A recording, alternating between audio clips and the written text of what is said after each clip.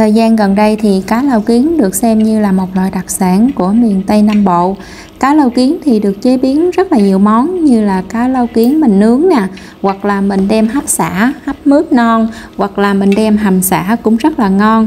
Thì khi cá lau kiến đem hấp xả hay là hấp mướp non á thì nó sẽ có có một cái độ ngọt nhất định của nó.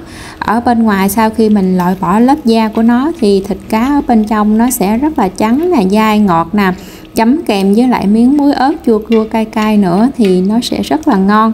Thì bên cạnh đó thì cá lau kiến còn làm một món rất là đặc biệt mà ít ai biết đến đó chính là khô cá lau kiến. Gần đây thì cá lau kiến được làm khô và nó trở thành một đặc sản của miền Tây với độ ngon ngọt tự nhiên. Thì cá lau kiến sau khi mà mình rửa sạch thì người ta chọn ở phần thịt ở hai bên của phần thân cá đó.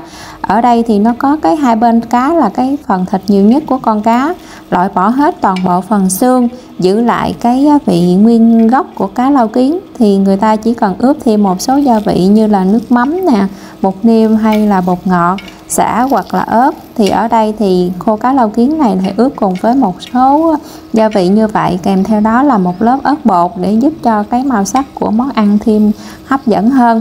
Sau đó thì người ta sẽ ép thành từng miếng và đem đi phơi dưới nắng gắt, tầm chừng hai nắng là cá nó sẽ khô khô cá lau kiến thì được rất là nhiều ờ, người người ta thích.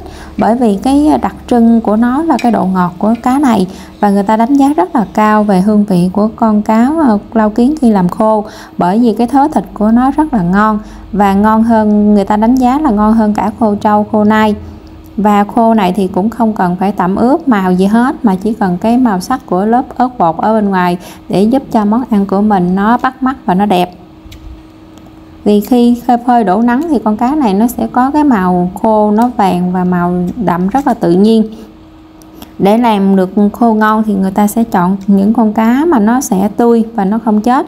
Và sau khi lóc hai bên thịt đó, thì người ta sẽ à, đem đi tẩm ướp. Và một cái um, đặc biệt đó là khô cá lau kiến này làm rất là hao.